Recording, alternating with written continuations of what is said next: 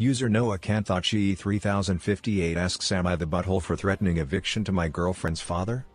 I recently inherited an apartment complex from a deceased family member. In one of the two buildings, small world, is my girlfriend's father.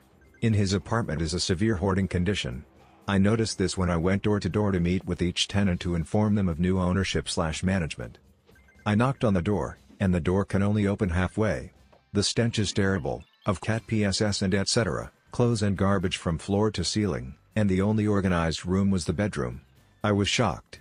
I told him that I am giving him 30 days to clean or he will be evicted. He said well I'm your girlfriend's dad, you can't do that to me. I won't have anywhere to live. He has six cats, no idea how they are even alive, there's black mold in the closet and I spotted about six cockroaches. I told him that I will order a dumpster for next weekend. If compliance is not met, I will have him legally evicted as he poses a huge hazardous threat to everyone in the building.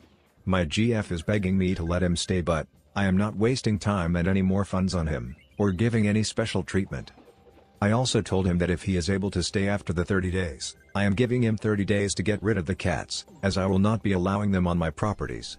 This has created so much tension between me and him and my GF and I because she wants him to live the way he has been. Am I the butthole? Please like comment and subscribe if you liked the video.